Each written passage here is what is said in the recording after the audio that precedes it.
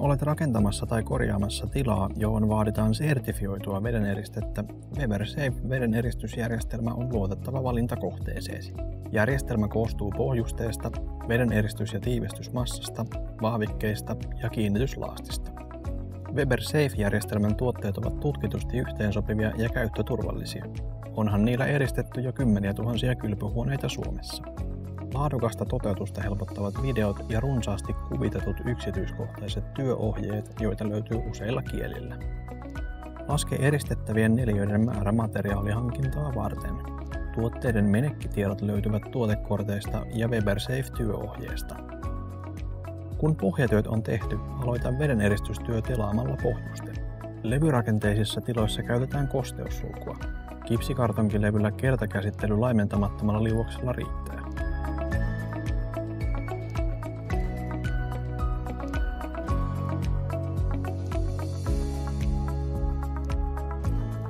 Tiivistä levyrakenteen läpiviennit valmiskappaleella, käytä kiinnitykseen VP-veden eristysmassaa. Jos läpivienti on ahtaassa paikassa tai valmiskappaletta ei muusta syystä voida käyttää, voit tehdä tiivistyksen vaihtoehtoisesti tiivistysmassalla.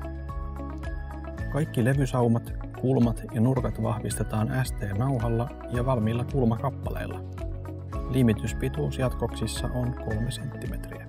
Puhdista linjakaivon teräslaippa epäpuhtauksista ja mahdollisista pohjustusaineroiskeista.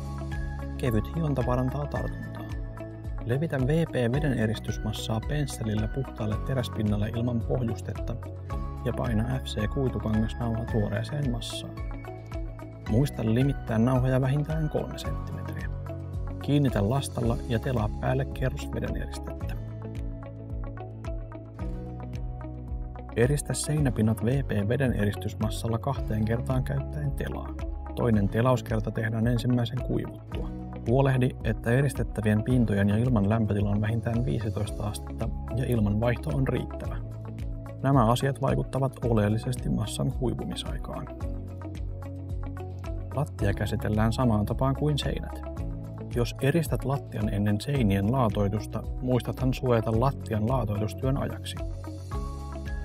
Tarkasta valmiin eristekerroksen paksuus ottamalla siitä koepala ja mittaamalla se luupilla. Minimipaksuus on sekä seinillä että lattiolla 0,4 mm. Massamenekkiä seuraamalla voit varmistaa, että eristettä tulee asennettua riittävästi. Tarkemmat työohjeet ja lisätietoja kylpyhuoneen rakentamisesta löydät WeberSafe-työohjeesta. Haluamme jatkossakin kehittää kestäviä ja turvallisia rakentamisen ratkaisuja luonnonvaroja säästäen. Toimintamme osalta olemme sitoutuneet hiilineutraaliuteen vuoteen 2035 mennessä.